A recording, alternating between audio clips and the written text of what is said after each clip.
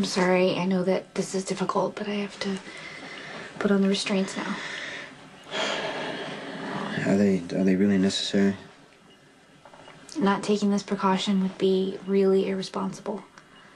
I, I don't understand. What are you expecting Jason to do? We don't want him walking around in a semi conscious, dreamlike state with his body full of a powerful drug.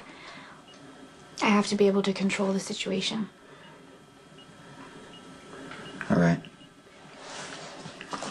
But let, let Sam do it.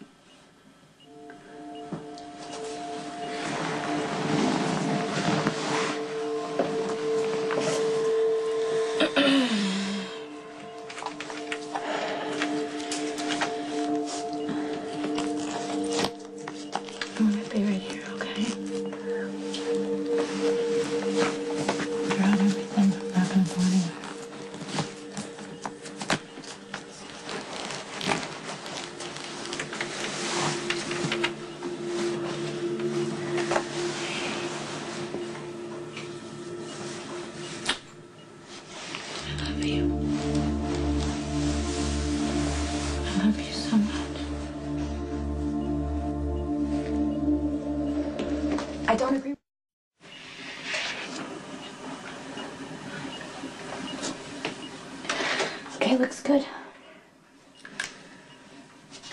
He's asleep.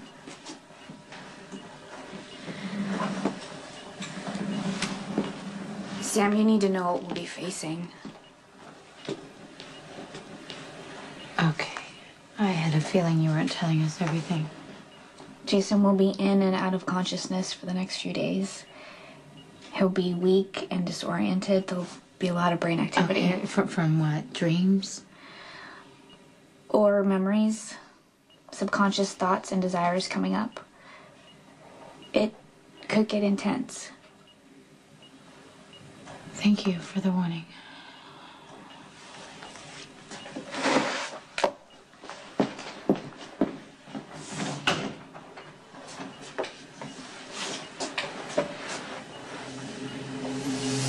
You're here.